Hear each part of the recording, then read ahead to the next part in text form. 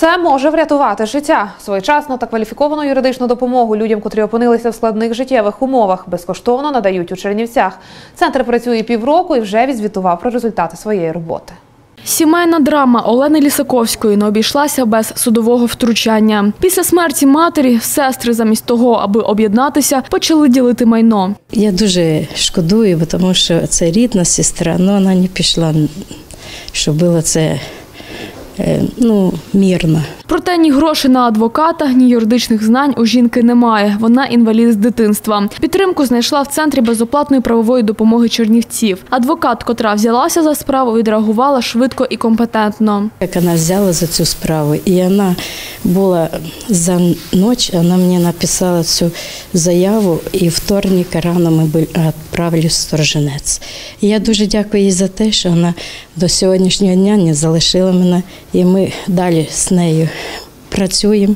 Цей центр один із сотні всеукраїнської мережі. Тут беззахисним верствам населення надають безоплатну правову допомогу. захист особи, представництво інтересів особи в суді і складення процесуальних документів. Директор центру розповідає, за півроку роботи сюди звернулося більше 600 буковинців із будь-яких приводів. Вирішення соціальних проблем, житлові.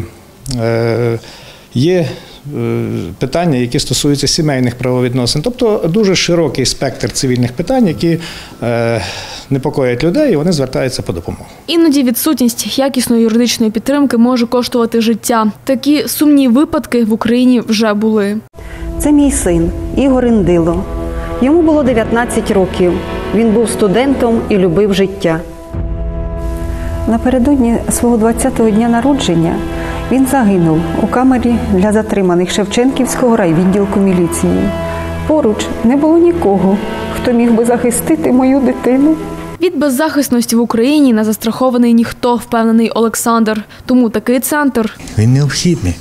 І більше щоб люди більше могли отримати е, кваліфікацію, дійсно якісну кваліфікацію. І головне, що тут показник, як я чую від других людей, не кількість клієнтів, а результат. Уже навіть за такий короткий проміжок часу є е, позитивні результати, є е, випадки, коли, скажімо, адвокати відстояли інтереси наших е, клієнтів. Приймають тих, кому необхідний захист і допомога за адресою вулиця Університетська, 1. Юлія Задорожняк, Максим Демко, Чернівецький промінь.